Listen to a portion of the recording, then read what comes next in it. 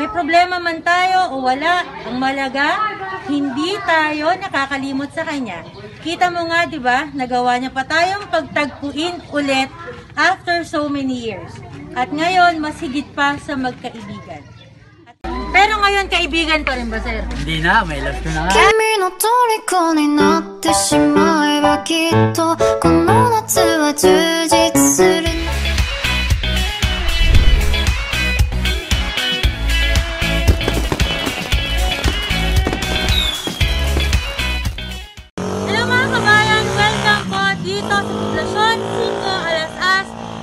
Batangas.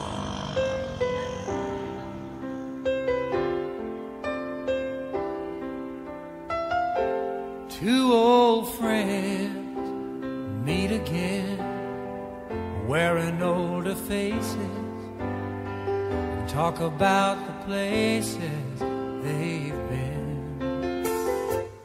Two Hello mga kabayan! Hello world! Ako po si Nice, inyong love ambassador from Gifts for Everyone. At ngayong araw na to, nandito ako sa Laurel, Batangas. Dito po sa Poblacion 5, ah, Alas-As, ah, Laurel, Batangas para hanapin ang ating birthday boy na si Sir Fernan Bobis dahil sineselebrate niya ang kanyang 48th birthday. So, lahat ng to, Sir Fernan, ay pinadadala ng iyong pinakamamahal na si Ma'am Clarice De Villa, isa pong OFW sa Singapore. At para sa birthday mo, Sir, meron kaming mga dalang pasabog. Ayan na nga, may mga birthday balloons, meron pa doon sa kaloob. Tarpaulin, t-shirt, meron tayong dalawang soft drinks. May pa-birthday cake. Pakilapit mo para makita mo kung gaano ka-special ang cake mo. Sir Fernan, ayan. Meron pa tayong chocolate, chicken, pizza, pancit.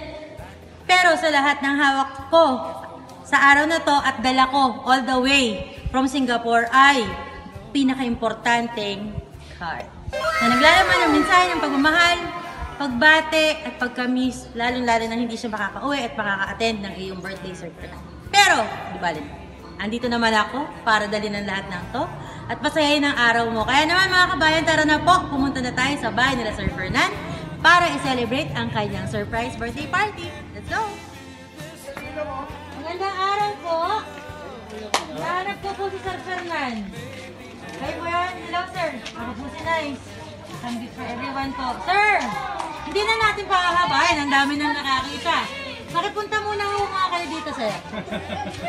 Meron ho kasi Hindi pa nakaligo. gustong magbigay ng mga regalo at pagmamahal sa inyo, sir. Eh, pakibok po niyo nga, sir. Maybe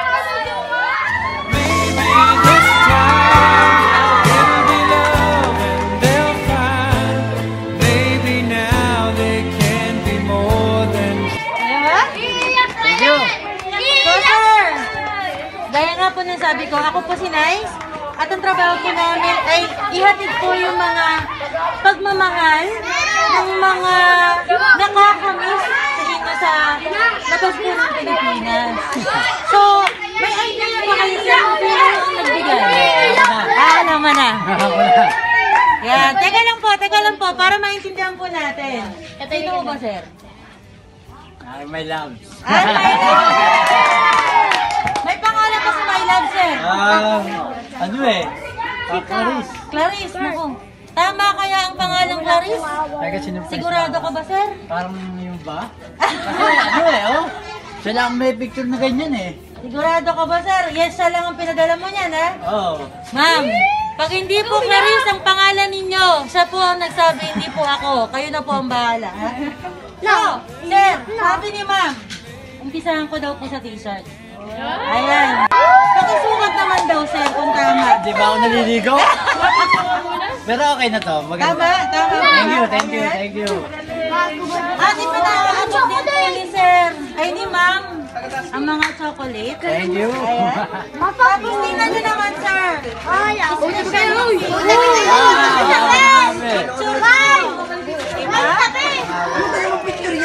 So, para ma-confirm. Kung confirm na confirm at tamang-tama, pwede mo bang mabasa ang inyong birthday card? Ako na ang babasa? Okay lang? So, magkakaalaman na kung tama. Kilala niyo ba si Clarice? Hindi. Ayan, ma makikilala nyo na. Ito na. Happy birthday, my loves. No candle too bright, no cake wonderful for you. Hindi pa yan, sir. Meron pang totoong sulat. My loves ko, happy, happy 48th birthday sa'yo. Ayan, pareho na tayong 8 ang dulo ng edad. Na-surprise ka ba, my loves? Oo nga, oo nga. Sorry kung ginawa ko to at wala akong maisip na ibang paraan paano kita mapapasaya sa araw na wala ako. Gusto kong kahit paano sa pamagitan nito ay maparamdam ko sa'yo kung gaano ka kahalaga sa buhay ko. Lalong-lalo na sa po. Lalong-lalo na sa po. Sa puso ko. Sabi mo nga, hindi hadlang ang magkalayo tayo para mapasaya natin at maparamdam sa isa't isa ang pagmamahal natin. Sa'yo ko natutunan yan. Deserve mo naman yan kasi kahit alam kong ayaw mo ng ganyan, wala kang magagawa dahil ikaw ang my love ko.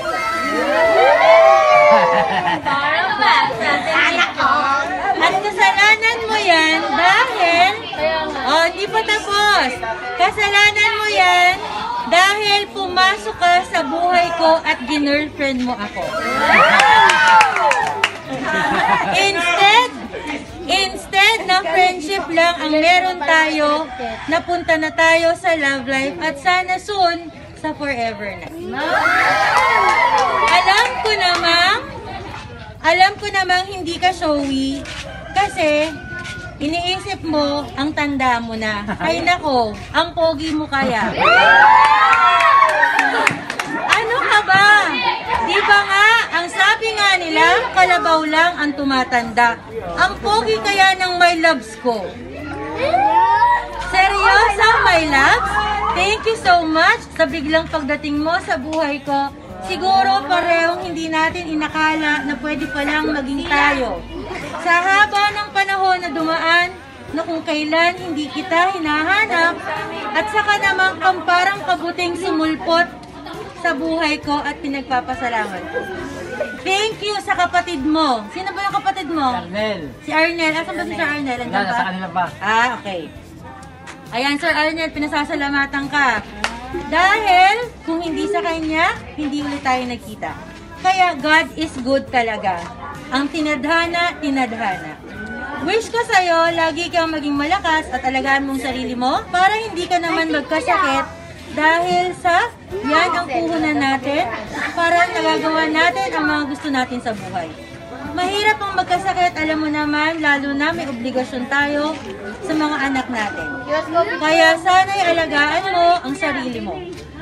At yung lagi kong sinasabi sa'yo, huwag kang magsasawang magpasalamat kay God sa lahat, my loves. May problema man tayo o wala, ang malaga, hindi tayo nakakalimot sa Kanya. Kita mo nga, di ba, nagawa niya pa tayong pagtagpuin ulit after so many years. At ngayon, mas higit pa sa magkaibigan. At higit sa lahat, nagpapasalamat ako sa nanay mo na siyang nagbigay ng buhay sa'yo at siyang laging gumagabay at nandyan sa'yo kasama mo sa pagpapalaki ng mga anak mo. Wala naman ako masasabing iba pa, lalo na sa re- relasyon natin. Lagi mo lang ako pasayahin. Salamat at lagi mo rin ako pinapasaya. Kahit malayo tayo sa isa't isa. Kaya nga, mahal na mahal kita, my loves. Thank you sa'yo sa binigay mong pagmamahal at pangunawa at ganon din naman ako sa'yo. Sana kahit wala ako dyan sa tabi mo ngayong araw, napasaya man lamang kita kahit sa ganitong paraan. I love you, my loves. Gifts and words of love from Singapore to Pinas. Lovingly yours. Thank you. Maybe this time Kuha mo yung ano, bimbo! Ah, bebe! Hoy! Hoy! Ag, ag, ag! Pawis! Okay lang yan, sir. Nakakapuyat yan. Sir, sa lahat ng regalo na binigay ni Ma, anong gusto mong ibigay na mensahe naman? Maraming Salamat, my love, sa ikaw, sinusurprise mo ko, ha? Ma'am, kalma lang you, daw. you. Baka tumaas Love ang you, presyo love ni you. sir. Ayan. Oh, may I love you pa. Ba, nakaligo? Siya, makaharap lang ng pwede kami sa, nagba, sa nagbasa. Sa okay. So ito, binigay na natin ang mensahe mo. Ma'am Clarice, binasa na rin po natin. At ang mga regalo, inabot ko na po. Kaya naman, ang susunod na gagawin natin, aayusin namin ang birthday cake para sa ating birthday boy. Dali lang po mga kabayan, babalik po kami. So, ito na po ang birthday cake, especially for you, Sir Fernand. Kita mo naman, hindi sapat ang cake lang, dapat may picture. Oh, di ba? So, sigurado tayong ikaw na ikaw yan. Tama ba? Tama ba? Si Sir ba talaga to? Yes. Mo. At ang sabi ni Ma'am, Happy 48th birthday, Fernan, from your my loves. So, kasama ang napaka-konting paligid namin. Pakiikot nga po. Ayan. Ayan, kaway-kaway. Huwag po kayo mag-alala. Dahil sabi po nila dito daw po sa Lauren, wala pong COVID. Kaya pwede kayo pakalapit. Kaya naman, kakanta na po kaming magkakasama ng Happy birthday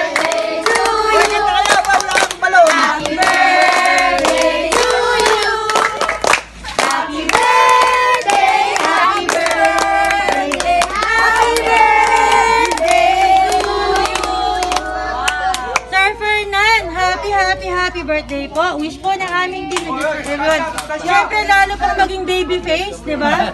Parang hindi naman 48 years old, parang mga 42 lang. Di ba? Patuloy ka pang maging malakas. Oh, hindi pa naliligo yan, hindi pa fresh daw yan, ah, pero fresh na fresh pa siyang tingnan. Patuloy kang maging malakas, di ba? Maging matatag pa po ang inyong relasyon ni Ma'am Clarice ng iyong my loves. Sir, since birthday mo naman, ikaw naman ang mag-wish. Pag ready na ho kayo, hipan niyo po ang inyong kanya. Sige, sir. Two old friends meet again, wearing old. At ang wish ni sir ay, Sana ay lumakas pa ako, ganyan. Sana magtagal pa kami dalawa. Dapat, kapag marami akong kasama, meron ding babate, di ba? Ma'am! Hi, ma'am! Ay, nariyan. Nakita na niya, nakita na. Ayan! Oh, ayan, ma'am! Teka, sinusurprise mo ako, ha? Thank you. Ma'am, kayo naman po ang mag-message. Ako po si Nice, ma'am. Hello po. Mag-message kay sir. Para po sa kanyang birthday. Hindi pa ako naliligo. Hindi pa Huwag mo nakapagpakulan na ng buhok. wala namang nakakaalam. Ano ka, bebe? Anong pangalan mo? Kay. Ano mo si, si Sir Fernan? Papa. Papa mo ba? Hindi mo ba kuya lang? ah. Papa, anong gusto mong sabihin kay Papa para sa birthday? Mag-asawa na, ale. Ano gusto mong sabihin kay Papa? O, oh, yun sa kanya mo sabihin, hindi ko birthday, anak. Asan pa? Asan yung child? Ayan. Ay, kapal. Ay, kapal. Kapal yan. Anak ko. Ay, sa papa ay, ano? Ano pangalan? Kim, anong gusto mong sabihin kay Papa? Birthday? Oh, wala bang cake? Hindi, si Alden. Ano mo? Ano mo si Sir Fernan? Ano mo siya? Papa o Lolo? Lolo? Ano gusto mong sabihin kay Lolo? Lemon cake. Yung balloon. Balloon. Ayan. Mamaya may balloon ka, be. Ano? Siyempre, pagkatapos ng mga anak at ako, tita. Tita mo ba? Ayan. Ano ka dito? Dati nangagatuya, baka kayo ah. Tita, ano po ang gusto niyong bigay na mensahe kay Sir Fernan? Ay, ano, ang mensahe ko dyan nito ay mag-asawa ka na ulit nga para makakuha na ng inyong pa, pamumuhay. Patagda ka ng bata. O ma'am, hindi daw po yun pressure. Pero gusto daw po nila ng mga Happy bata. birthday, Bernard! Thank you. Sa araw na to, si Sir Robert ang aking beshi wap. Yan, siya yung nag-meet sa amin doon sa may ah, multipurpose po. Doon kami naggayak nitong pasurpresa po sa inyo. Sir Robert, ano? Ayan, o dito, adjust ka. Ayan. Sir, anong message mo para kay Sir Fernan? Happy birthday kay Papa, ayun lang. Suporta lang ako sa mga pagpasaya sa. Happy birthday, Yulet. Di ba sir, ang daming bumate, ang daming regalo. Si Ma'am Clarice nahihiya yata lumabas. Sir, baka pwede namang magtanong ng kaunti. Kasi walang nakakaalam eh. Na, In-interview ko si Sir Robert, wala siyang alam tungkol kay ma'am. Paano ba nagsimula ang kwento ni Sir Fernand at ni Ma'am Ah, Clarice? Kami mag-best friend lang talaga niya. Best friend lang kami. Wala kaming relasyon niya nung ako ay nasa Alabang. Hmm. Ah, medyo nagka, ano lang, yung kwento-kwento lang, kwento. Eh, medyo nagka... Hindi man nagkainlaban, wala, wala, wala kaming relasyon, wala kaming communication yan, magkaibigan lang kami niyan. Talagang friends lang. Friends lang. Eh, medyo nagkawala kami dalawa, 2008 siya, nag-asawa. Eh, may asawa na rin naman ako noon. Ngayon, eh, napunta siya ng Cebu. Nandito naman ako sa Batangas. Nahanap niya ako, ah, para lang magpasalamat. Para sa mga ginawa ko sa kanya. Ngayon, Bilang kaibigan. bilang kaibigan, 11 years, hinahanap niya ako, hindi niya, ako na, hindi niya ako natatagpuan. Ayan, yung nag, nag, may isang taon lang, nagka, ano kami, gamit kami, gawa lang ng kapatid ko. Ano bang ginawa ni Sir Arnel? Ba't ba kayo nagtagpo ni ma'am? Ah, wala. Nag, nag, siyang nagtanong kung kaano-ano ko daw yung siyan eh. Hmm. Yung kapatid ko, kung kaano-ano daw ako, sabi niya, kapatid. Kaya tinawagan ako nung yan. Eh, hindi ko naman siya kilala. Siyempre, matagal na eh. Eh, medyo, ito, nagkatawagan, nagka-meet, nagkakita, hanggang sa ilang months. Medyo parang, ano, ah, wala na rin naman siyang, wala naman siyang asawa, wala rin akong asawa. Eh, di, doon na, niligaw ko na. Ah, okay na So yung naudlot niyong kwento, hindi pa pag-ibig, di ba? Naudlot niyong kwento, ngayon niyo lang nagawa. Na, Okay, ngayon na oo. nangyari. Ayan. na hindi naman dapat mangyari.